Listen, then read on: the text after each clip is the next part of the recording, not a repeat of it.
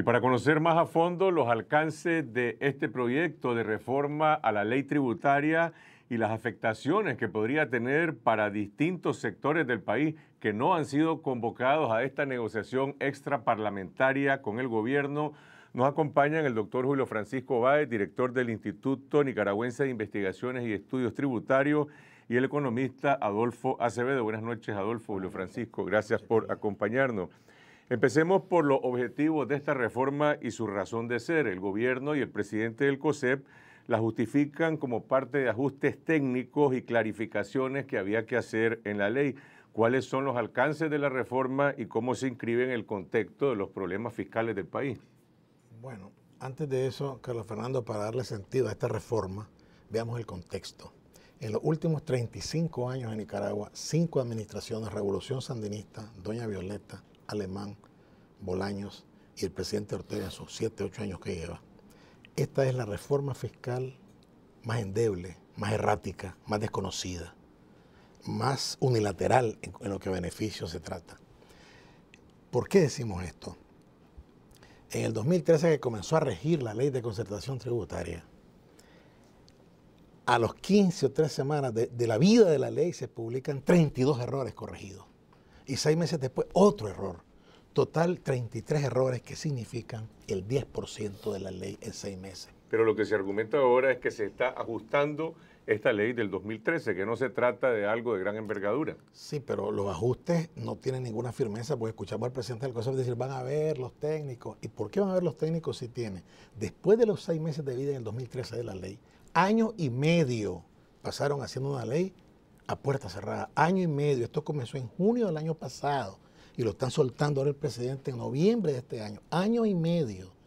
¿Y cómo es posible que en año y medio digan de que todavía están ajustándola y que esto obedece a procesos previstos? Falso. Vamos a verlo ahorita de que aquí hay unas cosas nuevas y que se ha dado un paso adelante en términos de gasto del Estado para el gasto social. Entonces, ese, esa palabra, tomémosla, pero sometámosla a escrutinio ahorita mismo. Eh, finalmente, ¿qué trae esta reforma? Ya dijimos de que pasó haciendo seis años y medio. Bueno, trae, este es un detallito curioso, pero que ilustra de qué estamos hablando.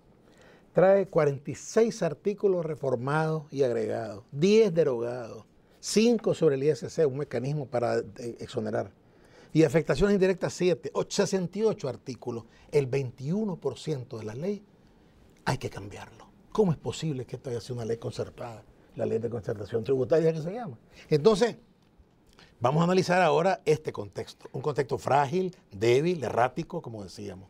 Ahora, uno de los cambios más visibles, que por lo menos se percibe a nivel general, es que hay una especie de retroceso, por lo menos del, intento que el mismo Estado había empezado a hacer para regular de alguna forma las exoneraciones fiscales. Ahora se dice que estas pueden extenderse de manera indiscriminada sin necesidad de presentar un plan de inversión, de evaluación o de justificación o de calendario. Y la justificación oficial es que esto es necesario para compensar las pérdidas que podrían darse en la zona franca por los cambios eh, con la ley en Estados Unidos y por el impacto de la sequía. No, la, ley, el artículo 288 de la ley, lo que establece, establece primero el artículo 287 que todas, una serie de leyes, y dice que todas las exoneraciones exenciones establecidas en esas leyes siguen vigentes. Sin embargo, lo que dice es que aquellas que no tengan un, un, eh, un plazo delimitado de vencimiento de los beneficios, se van a acoger a un calendario por el cual van a ir siendo grabadas progresivamente, es decir, las exenciones y las exoneraciones se van a ir eliminando progresivamente. Esto no afecta a la zona franca, porque las zonas francas tienen plazo delimitado de vencimiento del beneficio, 10 años. Entonces esa, esa razón no se justifica. Lo que están diciendo ahora es que se elimine ese calendario y por tanto tienen vigencia indefinida todas las exenciones y las exoneraciones establecidas en esas leyes. Entonces, esto, es lo principal. A cambio de esa eh, vigencia permanente de las exenciones y las exoneraciones, lo que el Estado, ¿verdad? Lo que el Estado concedió fue que ya no se va a producir la reducción de la tasa del impuesto sobre la renta de actividades económicas del 30 al 25 en cinco años a partir del 2016, que dicho sea de paso, ese fue un punto que jamás le interesó al sector privado, esa fue una concesión gratuita del gobierno. Desde el punto de vista fiscal, ¿qué significa la vigencia o la prolongación ahora indefinida de las exoneraciones. Es decir, se puede cuantificar lo que significan para el fisco, se puede hacer una balanza en relación a lo que aportan en cuanto a atracción de inversiones, como alega el sector privado, generación de empleo y por, lo y por el otro lado su costo fiscal. Bueno, el gasto tributario es del 7% del Producto Interno Bruto. Estamos hablando de casi 800 millones de dólares, más que la cooperación venezolana. Primero. Segundo, eh, este, este corte de las exoneraciones, si, si, tenían límite las exoneraciones, perdón, si tenían límite, se supone que ese gasto tributario tendría que bajar. Pero ahora llega a un estado de gracia el mundo de las exoneraciones, en el sentido de que se abrieron las compuertas. Esto significa que va a aumentar el gasto tributario. Va a tener más Nicaragua que subsidiar a sectores privilegiados sacrificando su gasto. Esa es la lógica mm. de esta reforma. Además, no solo se cortó el calendario para ir perdiendo vida a las exoneraciones, sino que además, por si fuera poco, agregaron más. Y viene aquella neurosis del gobierno COSEP por exonerar los yates y los helicópteros. Y ahí van exonerados. Tanto pelearon por dos años. El argumento oficial es que ese tipo de bienes suntuarios eh, son necesarios porque permiten atraer otra clase de inversiones. Sí, pero ¿cómo lo justifican? Es que los yates los limpian, los yates los lavan, los yates los cuidan. ¿Cuánta es esa fuerza de trabajo? Por favor, es una burla. Aquí hay dedicatoria. Aquí se trata de sectores interesados en que ni eso paguen. Y lo ponen. Yo llamo la atención de que ahora hay una actitud impúdica con las exoneraciones. Antes se le ponía plazo y se iban exonerando los plazos. El plazo de los sectores productivos desde hace 15 años se está corriendo. Ahora dice, ya no corremos más. ¿Y qué? Aquí queda todo abierto. Lo otro que quiero señalar es que Carlos Fernando y Adolfo, no se ha demostrado nunca que las exoneraciones son palancas del desarrollo en Nicaragua, sobre todo en Nicaragua. Y más bien, estudios nacionales e internacionales te dicen, el sistema fiscal de Nicaragua está horadado, está perforado. Cualquier cambio que se haga, si no se toca eso, no se avanza en materia fiscal, no solo no se toca. El argumento que acabamos de escuchar del presidente del COSEP es que dice que este régimen de exoneraciones ha permitido a Nicaragua un alto grado de atracción de inversión extranjera directa y también de inversión nacional. Carlos Fernando, la inversión privada, nacional y extranjera, se ha reducido del 26% del PIB en el 2006 al 14% del PIB en el 2013. Pero además, el, la el peor beneficio tributario es la exención de impuestos. El, si vos querés incentivar inversión, entonces puedes dar un crédito sobre la inversión que efectivamente se realice. No sencillamente dejar de pagar impuestos. Este, para estar claro, pues, aquí hay una, un gran debate. ¿Quiénes están exentos y quiénes no? ¿Cuál es el monto real de estos beneficios tributarios? El artículo 286 de la Ley de Concertación Tributaria establece la obligación del Ministerio de Hacienda y Crédito Público de publicar en el informe de ejecución presupuestaria el listado de las exenciones y exoneraciones, diciendo quién los recibe y por qué monto. Así salimos de duda. ¿Se ha publicado alguna vez el ministerio, el ministerio de Hacienda y Crédito Público está violentando la ley y aquí nadie está por encima de la ley.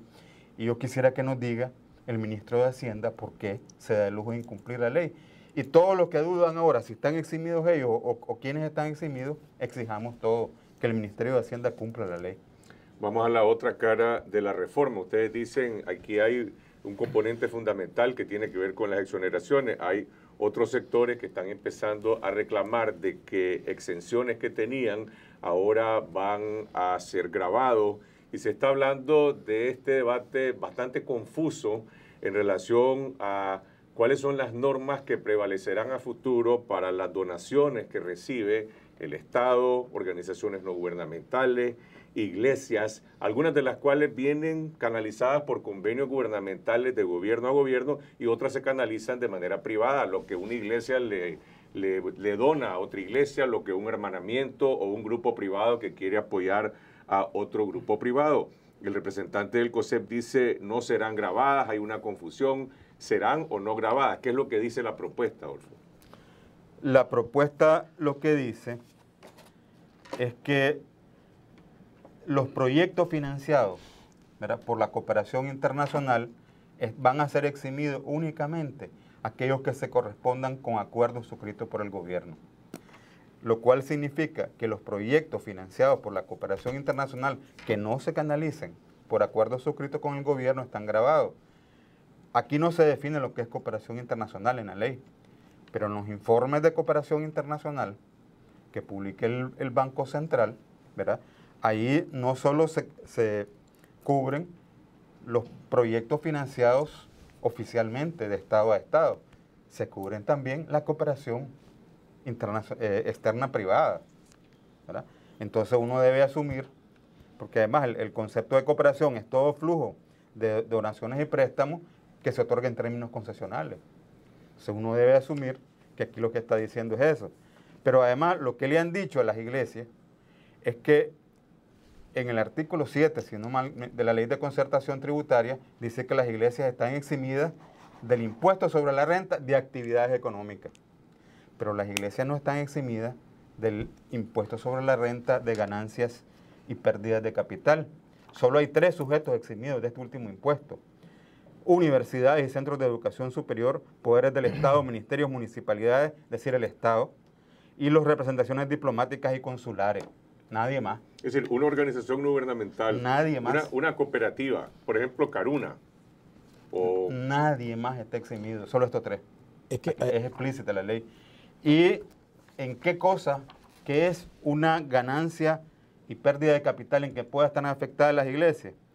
Son ganancias y pérdidas de capital, ¿verdad? En, el artículo 15 dice, asimismo, asimismo, constituyen ganancias de capital las provenientes de juegos, apuestas, donaciones, herencias y legados y cualquier otra renta similar.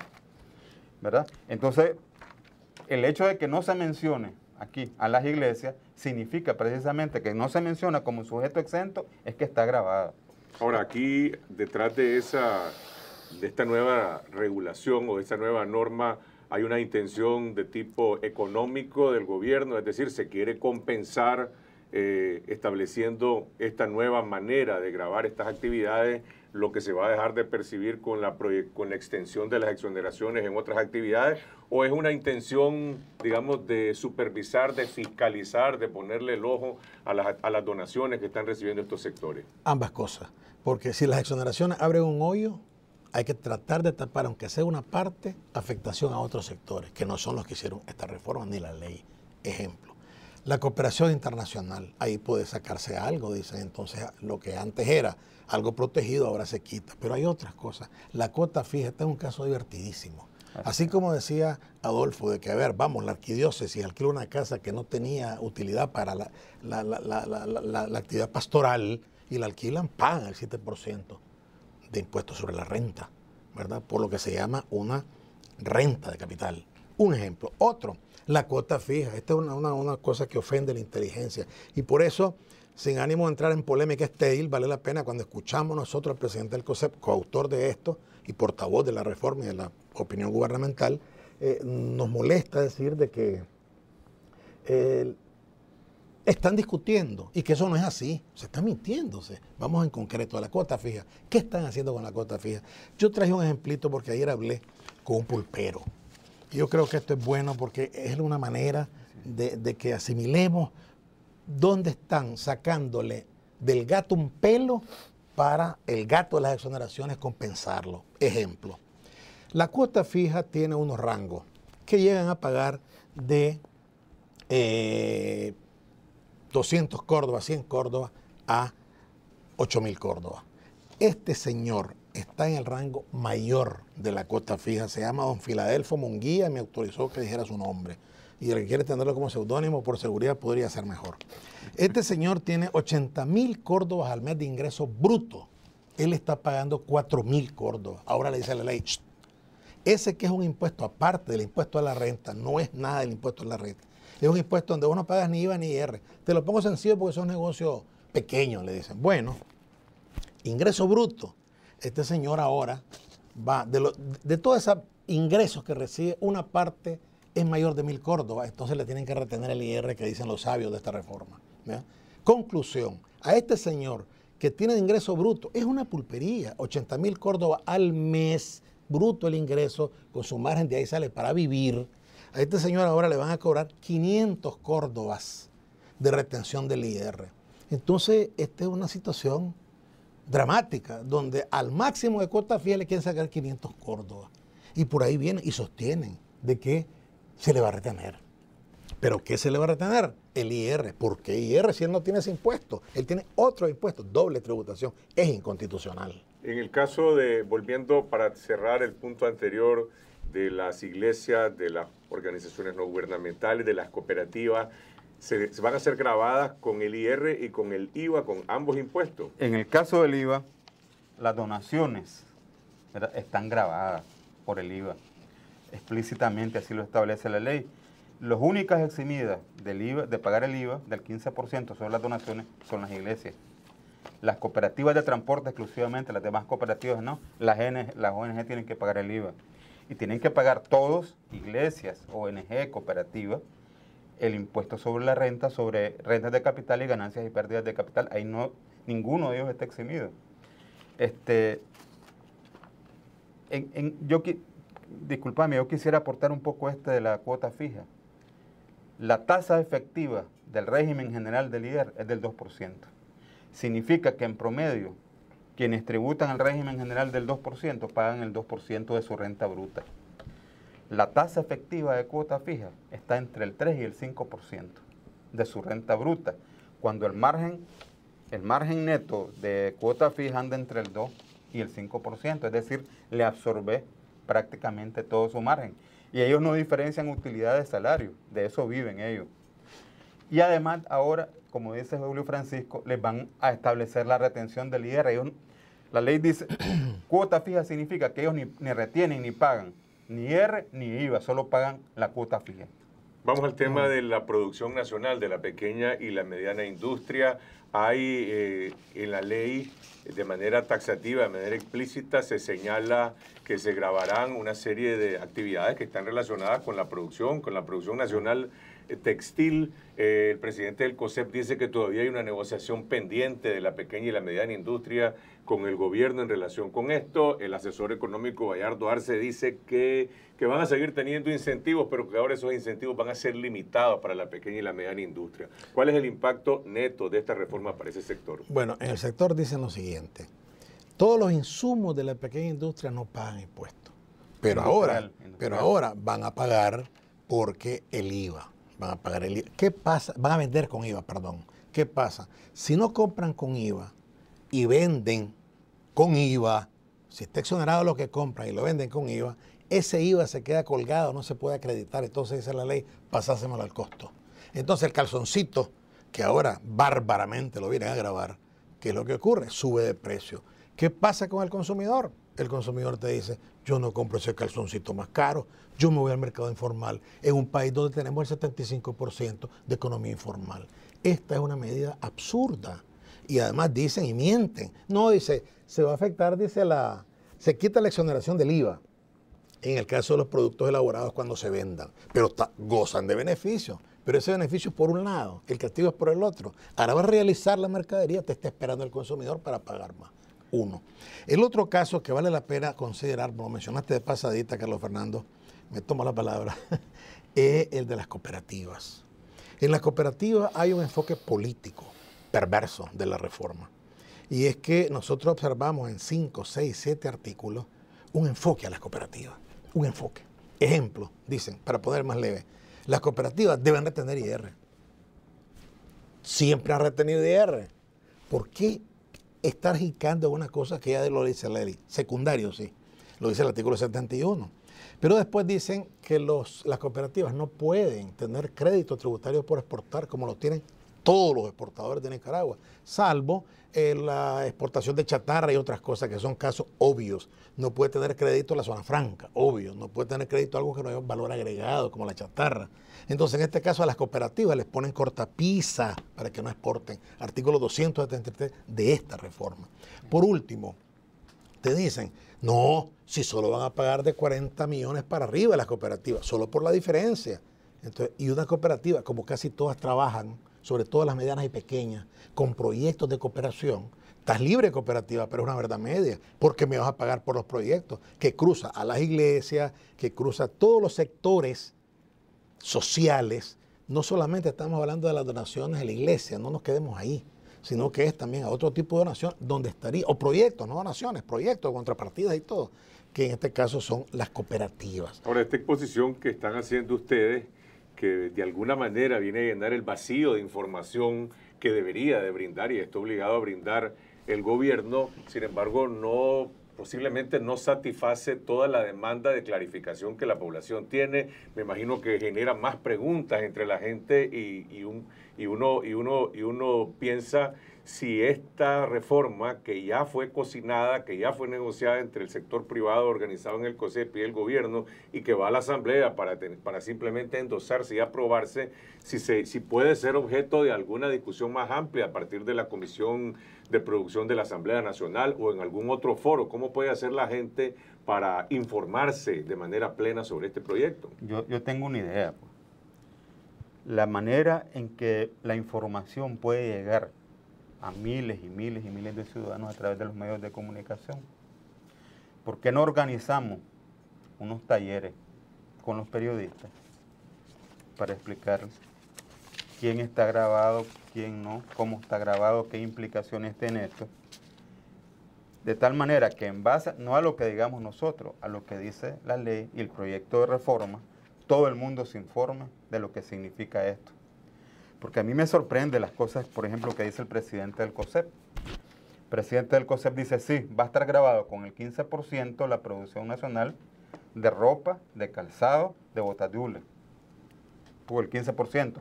Eso se le traslada a los consumidores y reduce la demanda de la producción nacional. Pero además dicen, no, pero los estamos compensando porque los estamos eximiendo de pagar el IVA por los insumos. Pero entonces yo no sé si el, propio presidente del COSEP ha leído la ley. Cuando uno, el vendedor del insumo, que está eximido, no puede acreditar el IVA que él pagó.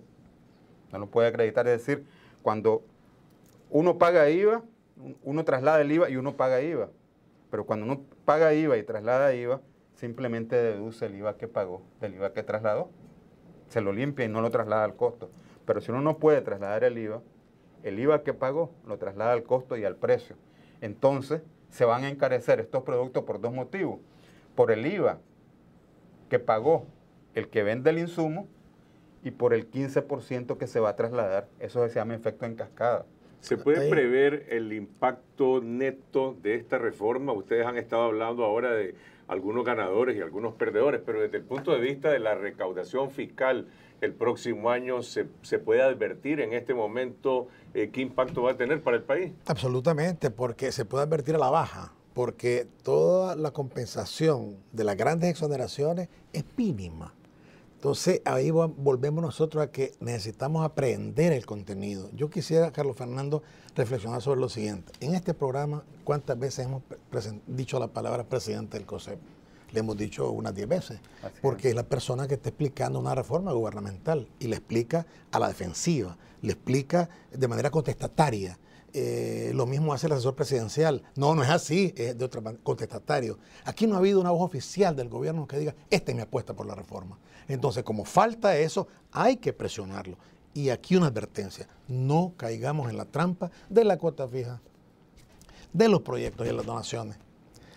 Veamos las exoneraciones y veamos otras cosas, Carlos Fernando, que son las no dichas, perdón, las no discutidas, pero están ocultas en la ley. Los asalariados, hay perdedores. No hay política de hacer más equidad en los asalariados. ¿Y sabes qué es lo que hay? Lo que hay es que está ganando, está pagando menos IR un no residente que un asalariado nicaragüense, según esta reforma. Primero. Segundo, está la otra cosa, los bancos, está en la ley. Ese es un artículo 136, no me voy a meter por el tiempo ahorita, estaré en casa para todos nosotros, todos los televidentes. El artículo 136, en la página 24 de la ley que presentó el presidente Ortega, hace una diferencia ahora. Dice que lo que antes eran servicios inherentes a la actividad financiera, ahora se llama servicios propios de la actividad bancaria. ¿Qué significa eso? Conclusión. Muchos enigmas están ocultos, aparte de lo que estamos discutiendo, pymes, cooperativas, asalariados, cooperación, cuota fija. Pero todo eso no perdamos de vista que es la mejoral para el cáncer. De todos modos, conozcámosla para que veamos cuán grueso y cuán nefasto es para Nicaragua una reforma que nadie conoce. Gracias, Julio Francisco Báez, Adolfo Acevedo. Yo les tomo la palabra y eh, abrimos el espacio de este programa de confidencial para brindar eh, más información a la población. Evidentemente, se requeriría de un debate nacional desde la Asamblea Nacional y a, falta de, de esa voluntad política del Parlamento, de los diputados, pues al menos, por lo menos desde los medios de comunicación, eh, estaremos abiertos a brindar eh, la información que contribuya a que la población esté más informada sobre el impacto de esta reforma. Vamos a una pausa, regresamos con el primer Congreso de Yoga que se celebra en Nicaragua.